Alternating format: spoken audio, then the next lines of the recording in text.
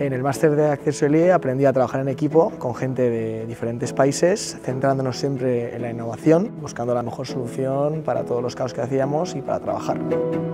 Me aportó la oportunidad de educarme en un ambiente multidisciplinar, diverso y centrado siempre en la innovación.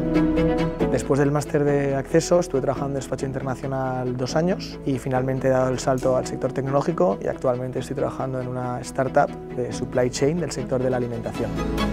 A los nuevos estudiantes les aconsejaría que estudiasen mucho, que aprendan a trabajar en equipo y que se respeten mutuamente y sobre todo que disfruten, que es una oportunidad maravillosa.